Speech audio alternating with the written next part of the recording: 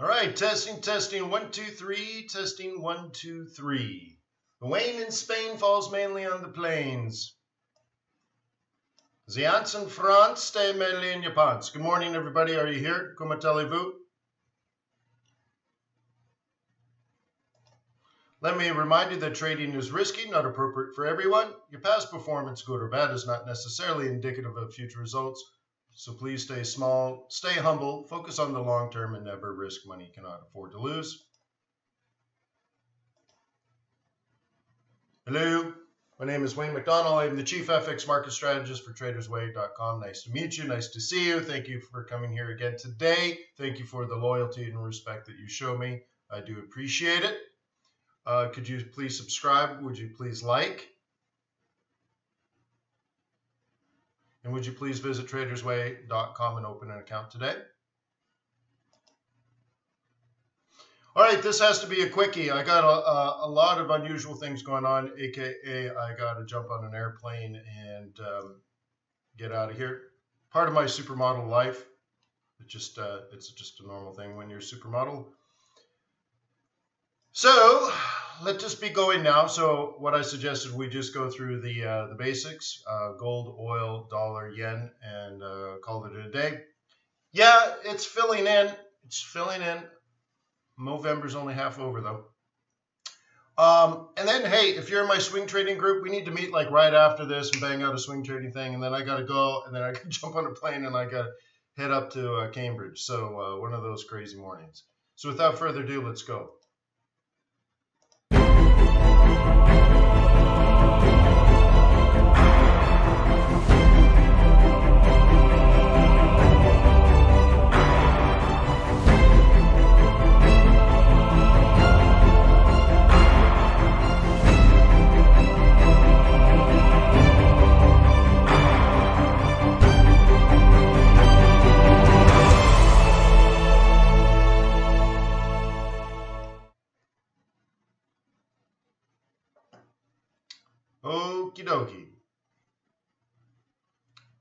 This chat's not quite sitting quite properly, and this view is not quite what I want to see.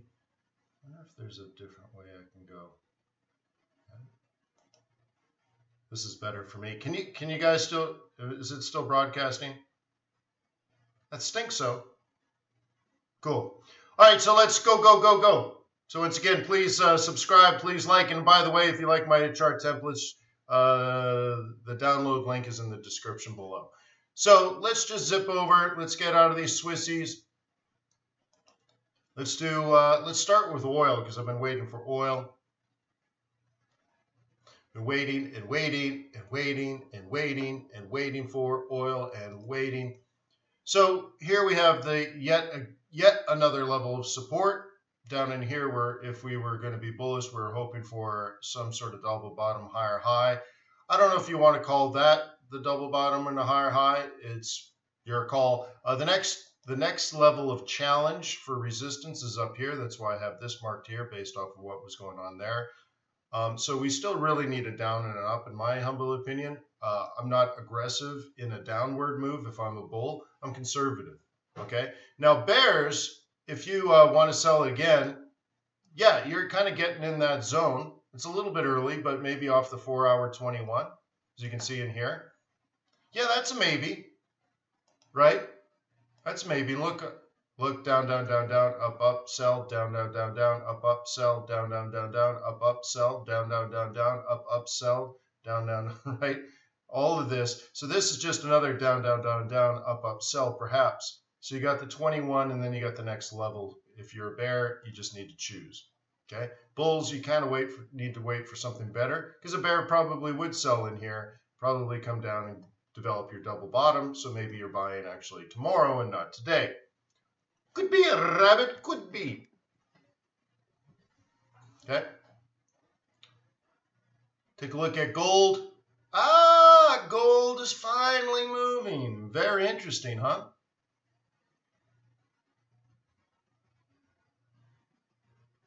I think it's very interesting. We finally got this kind of move and back up into here. And then we did get the drop.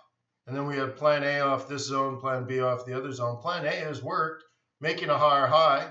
it's kind of interesting. I wouldn't get overly excited, but it did what it was supposed to do. And if you were to get overly excited, uh, you want to do it because of this, because that predicts a high of 1256, maybe 1270, 1260 to 1270. Hey man, that ain't bad. Don't cry over $45 right? So that's very interesting. So now in the small time frames, you have to decide if you're still buying these dips and stuff. And on the small time frames, I look at this and think, all right, it's slowly trending. It's slowly climbing up to 21. But man, there's got to be something better to trade than that, right? On the short-term basis, volatility is still quite low. All right, so if USD, if oil is going to go up, USD CAD wants to come down, right? Well, maybe it's still in the upward channel.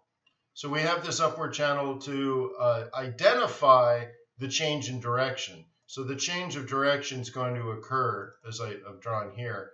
You, you don't get excited about any sort of move until you get below that, right? You got to get below the channel. And we didn't get below the channel the last time I discussed this, and therefore it didn't fall, wasn't interested in falling. Okay? Okay? So I'm not saying it will, I'm saying if it does, then that's important to bears. Now, bulls should be buying on this role reversal that I've already identified uh, twice, it looks like, for you. Okay? And that's buying a dip at the role reversal. Target is obviously going to be next week's uh, pivot profit zone. Okay, so that potentially is a front run trade. What? Oh, uh, thank. Good morning. Thanks for uh, replying to my question about long and short bias. Yeah, so uh, I try to read all the comments that you post on YouTube, and uh, when necessary, I do respond. So I do. I appreciate you. Yeah, give it a like. And by the way, if you guys are new here, uh, please subscribe. And in fact, I would like someone to subscribe because uh, I made some changes to the stream and something should pop up if, if we get a new subscriber. It should alert in the video. So if you haven't subscribed, just do that and it gives a shout out type thing. It'd be really cool to see that work.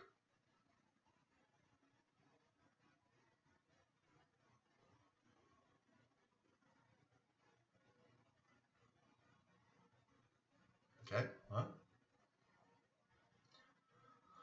Right. So anyway, so yeah, bulls are buying now, and in fact, you'd be in this small time frame, and uh, you're loving it, man. You're loving it. Triple bottom, higher high, long and gone. Buying the new dips, heading up, long and strong.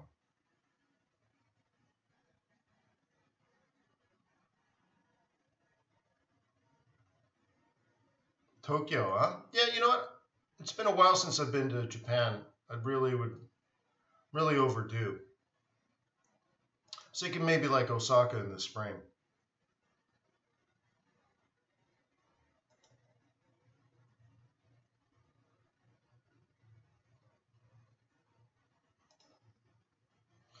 But, but, but, but most of next year is already booked, so I don't really have time for personal enjoyment. So here we are in pound. Ba, ba, ba, ba. Just amazing, right? And so what was the net result from yesterday's uh, volatility? Did anything radically change? Not quite yet, huh? So ultimately what happened, we had this as a sell again zone. We had this as buy it back zone. And guess what? Sellers won. It seems pretty straightforward and likely, huh? But yeah, well, that's why I would go. I was thinking more like May, but I guess it is April. But um, yeah.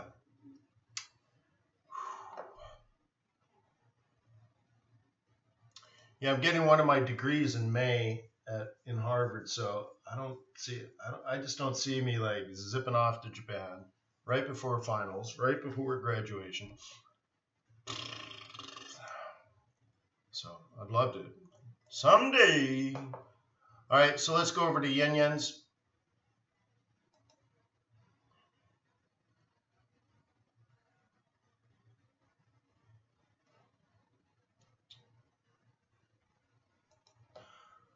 And we're just sort of stuck. So zoom zoom back in. Let's do an hourly analysis on this. Okay. We had this fault. Remember how we used the fib and said, look, this fib would be a buy zone? And just to recall, remember I drew the gray lines and the Fibonacci before this fully fell. We were still up here. So I said if it was going to fall, it would fall down where? well, maybe this pivot point, maybe the 382, maybe this weekly instead of the monthly. I don't know. But if you are a bull and we just made a higher high because this high is higher than the high to the left, then you would expect a higher low. So where would the higher low be? Well, maybe here, maybe here, maybe here. So I drew all that. And based on that, you would have a trade plan to buy somewhere in here. Oh!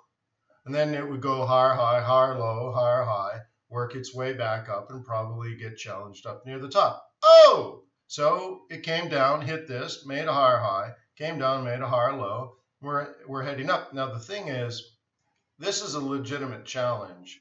Oops, want to do that.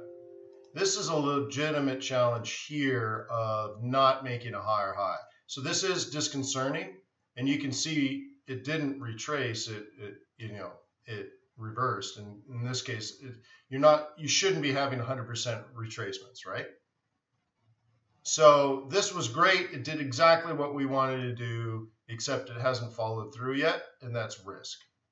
That's just risk. It, it's slowing down. We're losing the bullishness we had, and you need to recognize that, aka uh, stop buying, aka move your stop closer, so on and so forth.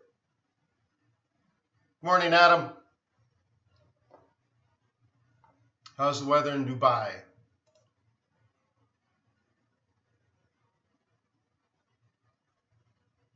Mm, mm, mm, and that's that, right?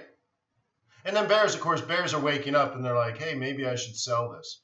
Uh, yeah, that's definitely plausible as well. Okay? And your argument now would be, well, we hit the target early in the month. I'm looking for a counter trend trade. So it made a drop, and then it made a lower high. I rolled it over on the one hour chart, right? Top, top, top, lower, low, lower, high.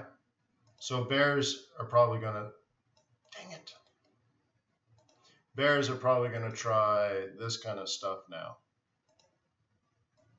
Okay. Nice temps. Sweet. I'm overdue.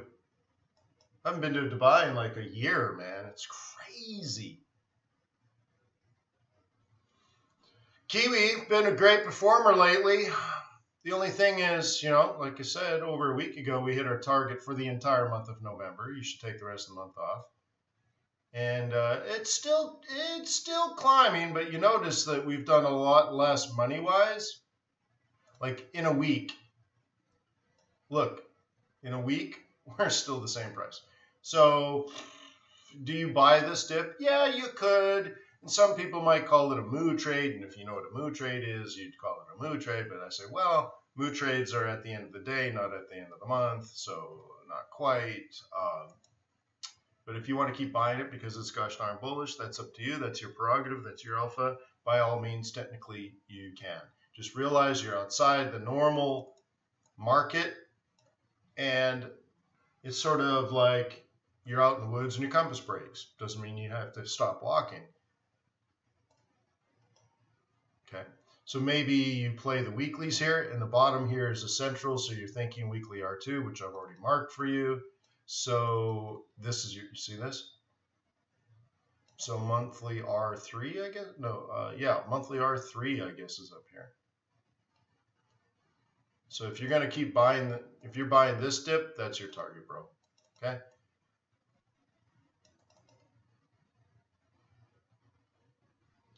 And sold at 77.50. So you sold guess I know what you're doing here. Um, why are you still in it though? I guess you're up in here, huh? Yeah, I don't like that trade. I don't know why you sold that. Sorry. Uh, I don't have a lot of time to be nicer, I guess. I'm sorry. You sold it way too high outside the market. Um, okay, here we are. If you're a bear, your first shot here is off the uh, 4 hour 21. Oh, that's a 1 hour 21. You know what? It still works. It still works for me. Uh, if you're a bear, that that's definitely a sell. I mean, that's straight out of the book, right?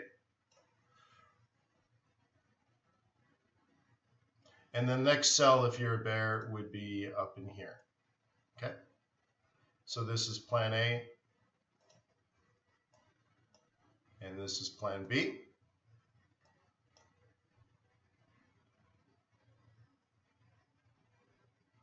Does that make sense?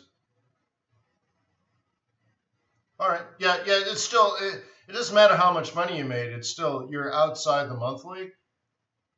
So you're selling you're selling something that's unusually bullish and that just it, it, it just makes less sense to me, that's all. Metaphysically. Would somebody new please subscribe? I'd like to see that new thing work. It's going to send out a little shout out. And I'd like somebody to test it. So would you please subscribe? I'm sure not everybody in the room is subscribed. Added on to CAD yet? All right, we can take a look at that.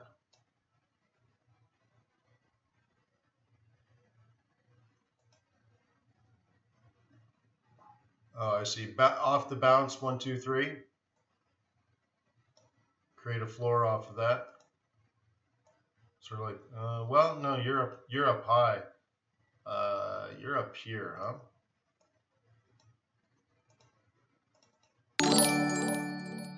Cool. Thank you, Dihad. Nice. That was cool.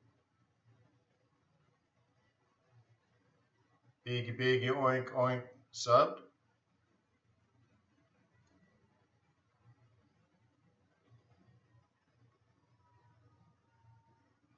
Yeah, it, and then it popped up here. The the message was up here that someone had subscribed. Yeah, it's neat.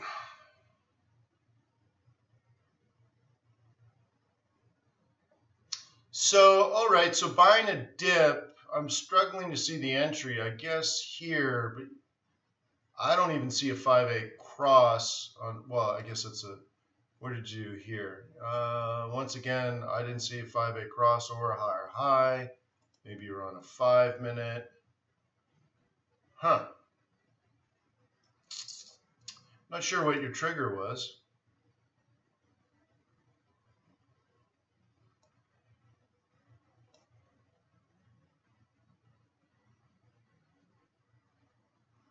Yeah, Bucky, I know.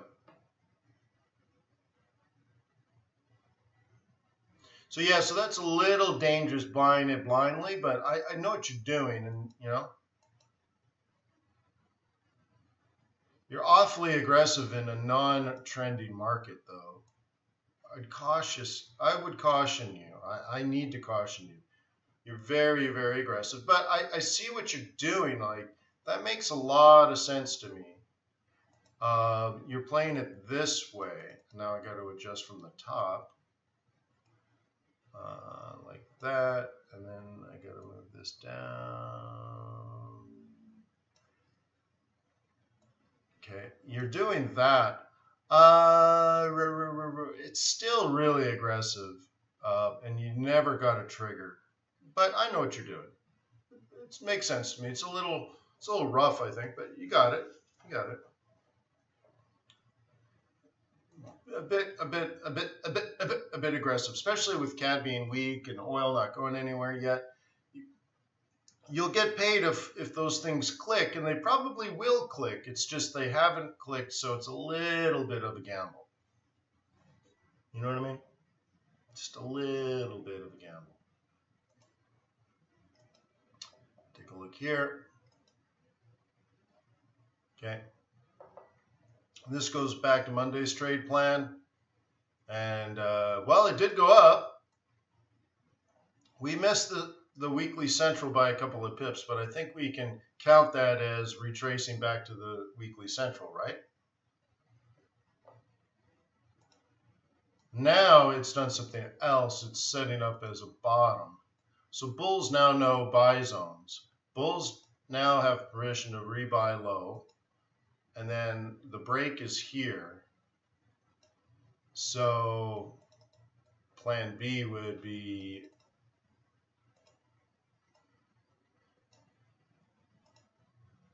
okay, something like that. Um, yeah, a lot of waiting. This isn't quite right. If it turned, you could take it and argue it and all that kind of stuff. Uh, the breakout pullback is the safest, of course. Okay.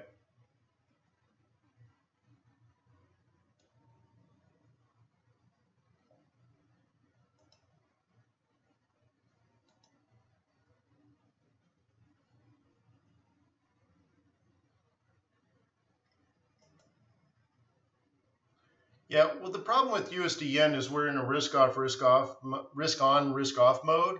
So it'd make no sense to be trading these at the same time. Uh, fundamentally, that is. Um, but I guess you could. I mean, okay, that's a buy zone. But do you understand, like yesterday, we had this whole Brexit thing, right? Theresa May, blah, blah, blah, blah, blah. Remember all of that? And we talked about yesterday just being simply a risk off mood. And what did I say? All the dollar pairs, like the dollar would get strong, the yen would get strong, and the Swissy would get strong. So in that scenario, I wouldn't trade USD Swissy, and I wouldn't trade USD yen. And I wouldn't trade Swissy yen because they're they're all different variances of neutral. Okay, does that make sense? So that's not to say that we're risk on risk off mood is still the predominant theme in the market, but it totally could be. And so therefore you really got to analyze first. And I haven't seen any breakouts on non-neutral pairs.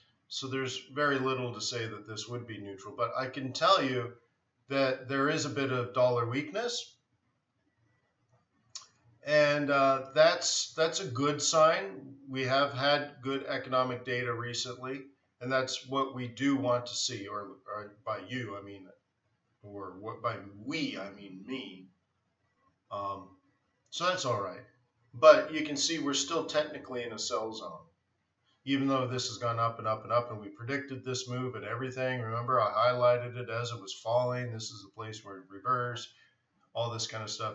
Um, it doesn't mean it's going to reverse all the way up. So now i'm looking at sort of this area and the bigger area actually is this.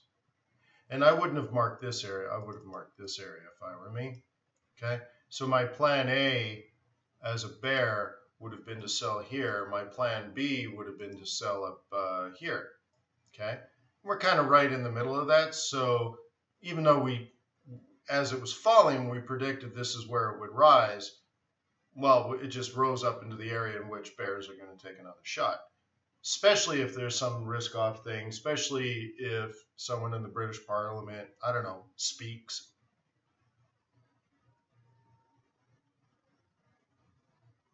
right? So, uh, yeah, just be careful.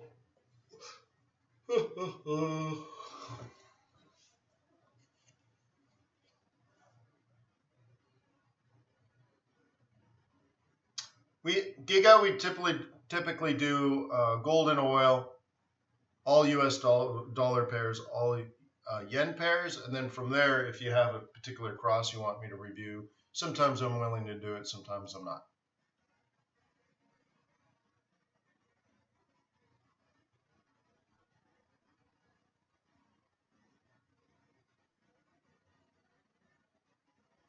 Well, thank you for subscribing, Dehad.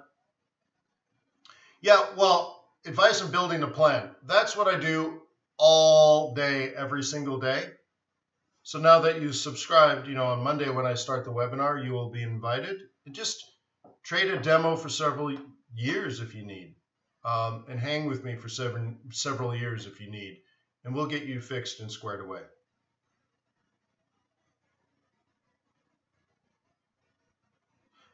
Well, uh, and why does the pound go down?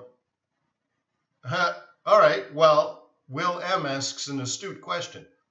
The U.S. dollar is a reserve is the reserved currency. Thank you, Scott. Scott's a new subscriber. Thank you, Scott. Um, Will, the USD is a, the reserve currency for the world. That's one big thing. Okay, and the major benefit to being the reserve currency is that you can that your debt is is denominated in your own money. And that's a big deal because if you owe people money, you can just print money. If the British owe people American dollars, they can't print American dollars. Thank you, Interesting World. So, in this case, what happens when Americans are doing really, really well? They're filthy, stinking rich. They start buying stuff from China, from Japan, from South Korea. They start buying Ferraris and Bugattis from Italy and Porsches and Mercedes and BMWs from Germany. And, every time they do that, money leaves the United States as an, and then exchanged for the local currency. So if I'm out buying Lamborghinis, I'm doing so in euro. So I'm selling my US dollar and I'm buying euro so I can get my Lambo. Okay? So when I'm filthy, stinking rich, I'm spending money outside the United States because things in the United States are too expensive. This is what inflation is. So why would I buy an American product that's expensive when I can just go buy a European or an Asian product for I can get more bang for my buck. So I spend my money outside the borders and the US dollar weakens when things are good. When things are bad, I bring my money home, but also foreigners are like, oh my God, I don't trust my own bank. I don't trust my own government. Things are going bad. They're going to steal all my money. Like, look, in places like Argentina, people would wake up in the morning and 40% of their bank account was repatriated by the government. Just like, sorry, we took your retirement account. So people are very concerned about such things when, when the economy is going bad globally. So what they do is they buy U.S. treasuries because they know the U.S. government's not going to rip them off. So, and the banking system is safe and all that kind of stuff, right? So, a, a billionaire in Venezuela is going to buy a bunch of the U.S. treasuries. Thank you, Abel. By when things are bad, they're going to buy U.S. treasuries for protection. And what that does is means now they're buying U.S. dollars to buy U.S. treasuries. So when things are good, Americans are spending across the border because foreigners are just cheaper than locals. Foreign products are relatively cheaper than local products. So you spend your money outside the borders, the dollar weakens. And then when things go bad around the world economically, then those foreigners demand US treasuries and the dollar goes up. So it's it's the opposite of what you would think. And in fact, it's opposite what you probably learned in economics in university. If you went out and bought a textbook, and I got a dozen of them, uh, on economics, that they won't say that because they're not taking the reserve currency into account.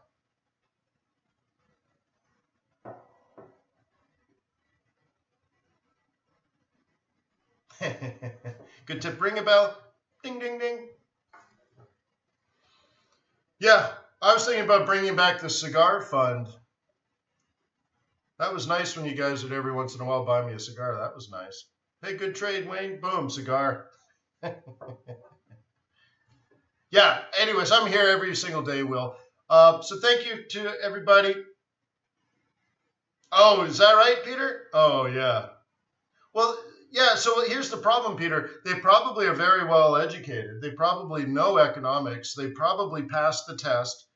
The professor re- regurgitated the stuff that's in the textbook, and now your buddies are regurgitating the stuff that the professor taught them, and none of them have traded Forex. So I say, wow, really? You have an MBA from where?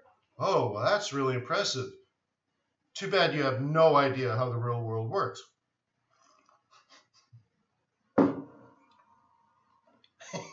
they love it, by the way, when you say that. And then they're like, well, where the hell did you go to school? I'm like, oh, I went to Harvard. Where'd you go? East Coweta? You... um, so, anyways, I gotta go. Uh, I gotta go. Uh, I'm on my way to Cambridge now. In fact, uh, I gotta go. I'm learning how to manage endowments for museums and other artistic um, institutions like, let's say, the symphony. So one day I want to sit on a board of directors or board of advisors. I've sat on many boards already, but um, I'd like to sit on a board for either a museum or like the symphony, right? Or the opera. And so I'm taking this class. It's the only class in the United States for this. So specifically managing the endowment. So I'd be like the, the finance committee chair per uh, sub chair for some sort of you know museum or something. Um, so I'm actually taking a class on that. It's pretty interesting. So I got to go do that. Um, I got to do study that, do group project, and then um, I have a paper due all the next like th- three weeks. Then I got finals, and then we have uh, it's crazy stuff. But I'm trying to I'm trying to give back to the world. You, you know what I mean? So putting all this effort uh, effort in to give back. So um, if you're in my swing trading group, uh, I'm to just go over there now. I'm to open the room and I'm just to go. I'm just to click record and um, go. All right. So maybe I'll see you guys over there if you just happen to be here. So, anyways, thank you guys. Peace on earth. May the pips be with you. May your profits be above average. Sorry it was short today. I will see you on Monday. Have a fantastic weekend. Mwah. Love you, babe, but I got to jump.